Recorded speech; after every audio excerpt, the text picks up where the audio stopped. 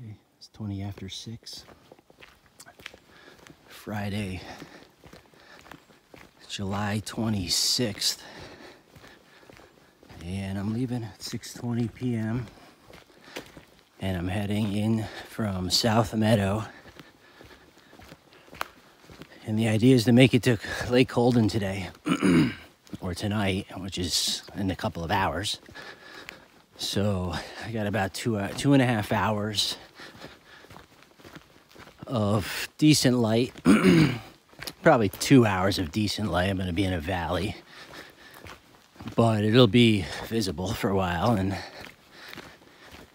I'll uh, throw my headlamp on if I have to.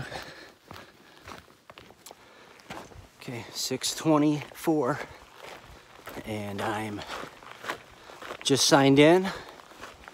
Taking the Marcy Truck Trail is what they call it. It's almost 2.8 miles to Marcy Dam.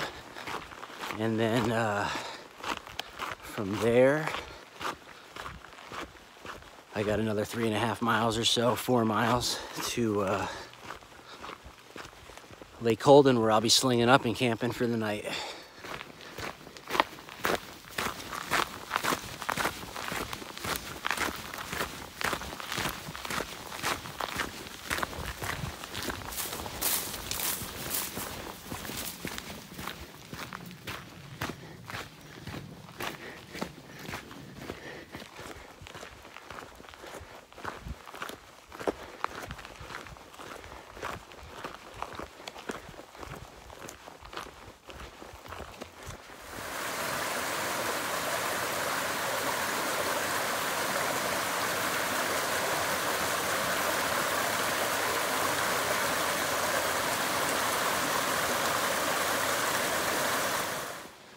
So that's the high water bridge just underneath Marcy Dam.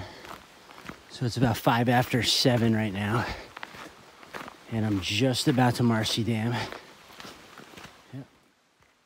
So we shot a Colden right there.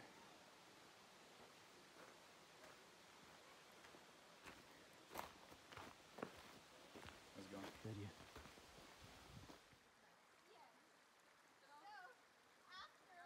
That's where I'm heading. Right past Colden there. Through Avalanche Pass.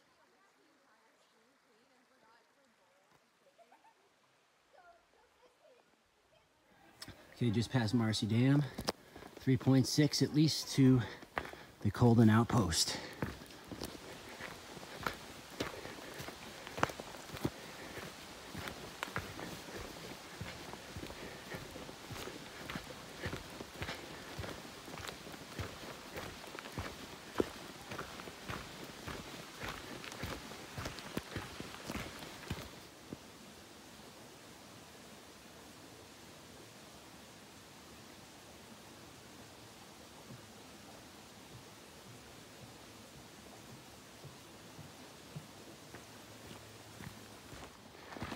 Okay, here's the split.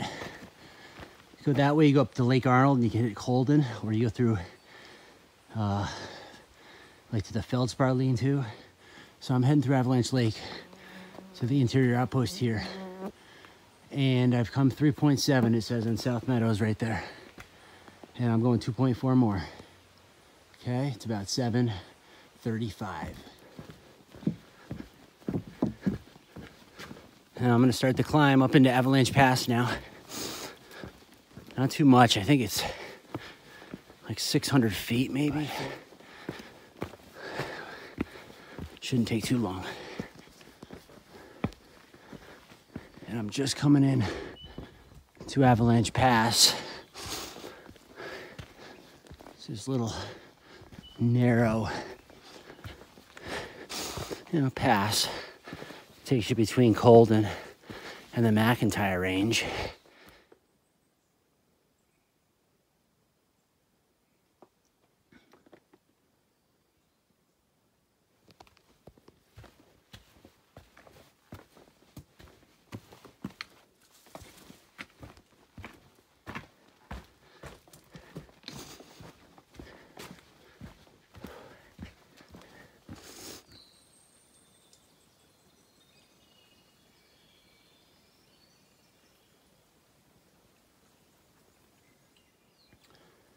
All right, made it to Avalanche Lake. About 8.15. Still got a little ways to go. I gotta get to the end of this little valley.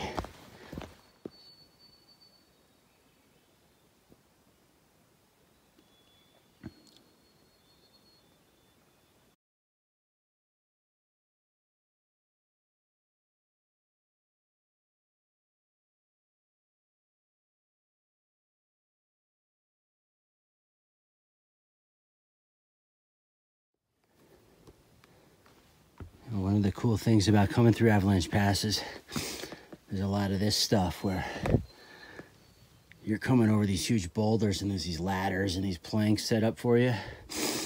But I'll tell you, it is slow and you gotta watch your step.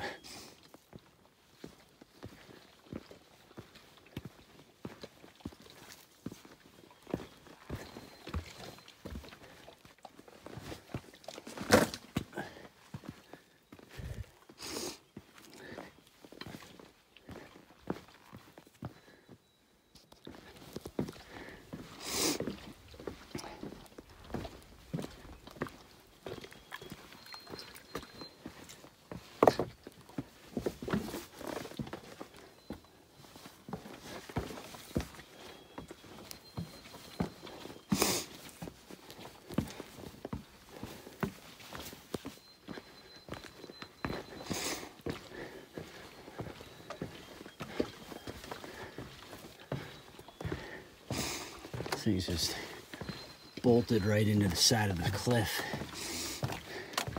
Otherwise, there's no other way through this.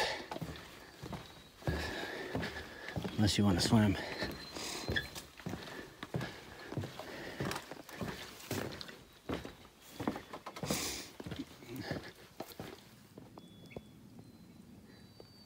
It's getting dark, but let's a look up the trap dike that goes up Colden, which is a really cool way to ascend Colden. I haven't done it up the trap dike, but it's definitely on the list. And we're making our way through Avalanche Lake here. We'll finish, we'll get to the end of the lake and then there'll be a little area in between and then you'll hit Lake Colden and I'm gonna call it quits there where it meets up with the opalescent. I'm gonna sleep there for the night.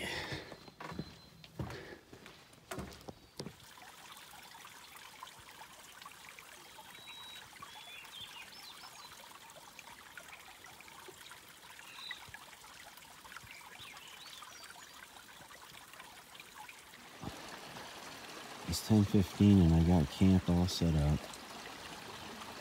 And now I'm just gonna try to doze off. There's not much to see. I kind of camped illegally because it's packed in here tonight. There's like no places anywhere, so I'm a little too close to the water, but it sounds really nice. And uh, this is how I'm gonna sleep tonight. So it's quarter of seven, Saturday the 27th. And I'm just packing up camp for my first night here at Lake Colden. I'm next to the Opalescent here. I'm not supposed to be this close to the river, but this is what I had to do last night because it was packed here last night. And it turns out that I came in around 9.30 last night. And I saw a guy when I came in and he said, my backpack's missing. He had his dog with him. And it was kind of a weird conversation. And um, I didn't really think that much of it. I thought his friends were kind of screwing with him or something. But I just saw a woman and she came by and she said, I'm looking for my day pack. Um, she said there was a lot of bear activity here last night around 8.30 p.m. And I came in right afterwards, but there's a couple people missing their packs. She's missing her day pack with her passports in it. I'm not sure if he ever found his pack. He had food in there. But, uh, yeah, at dusk, you better have your food put away or else, um, they're gonna come. The bears are gonna come, and they're gonna take whatever they can get their hands on and see if there's some food in there. Okay, 7:45. Getting a little bit later start than I wanted, but this is okay. Uh, one of the caretakers just came by and was, was talking about the bear activity, and he's filling me in some information. So I sat and chatted with him. Put them all packed up. Had some coffee. Had a little bit of a croissant, and I'm gonna start heading up the Opalescent here to do Cliff and Redfield this morning.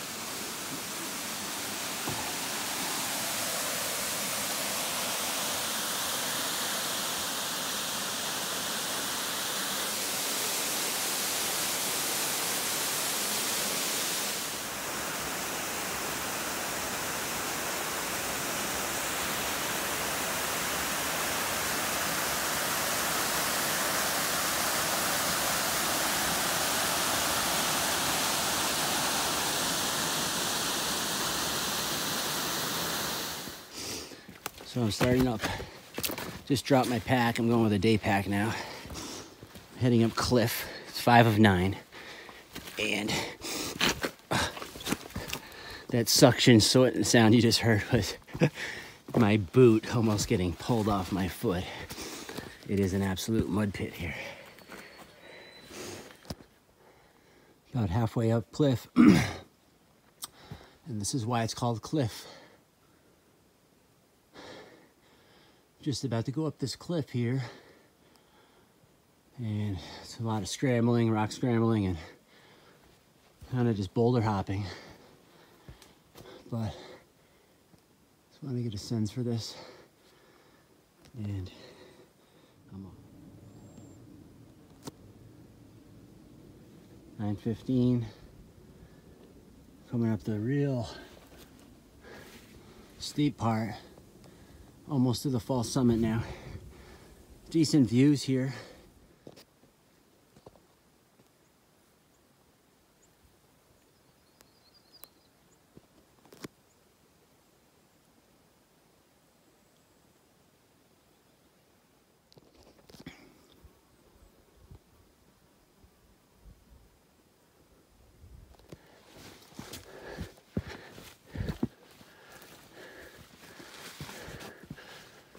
Hey there. Summit of Cliff, 940. Okay. It's 11 a.m. on the money. I'm still at the junction for uh, Cliff and Redfield. I'm just about to start off for Red. I've uh, rearranged my pack, washed my gaiters, and I'm gonna take my poles and my fanny pack and Redfield. Here I come. Summit of Redfield.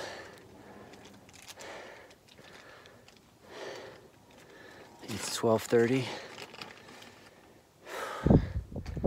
Some pretty decent views to the south here. That's Allen Mountain right there.